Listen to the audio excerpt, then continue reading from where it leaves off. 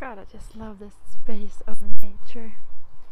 If you want, you can just take a deep breath in and drop your barriers. Expand out 5,000 miles in all directions.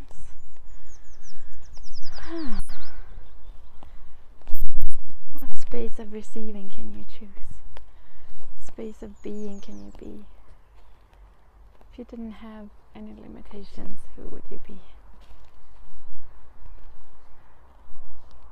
If you were being you right now, who would you be?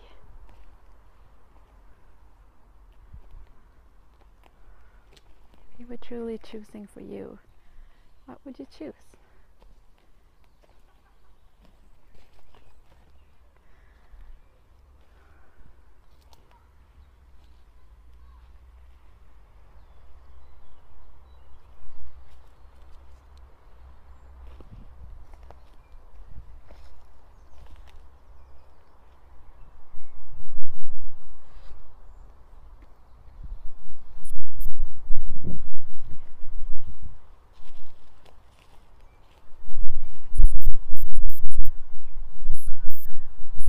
If you brought your body along for your creations, what would that be like?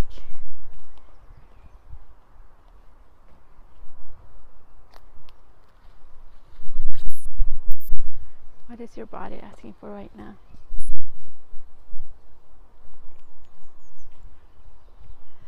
If we didn't get caught up in distractor implants and stuff, I wonder what would be possible then.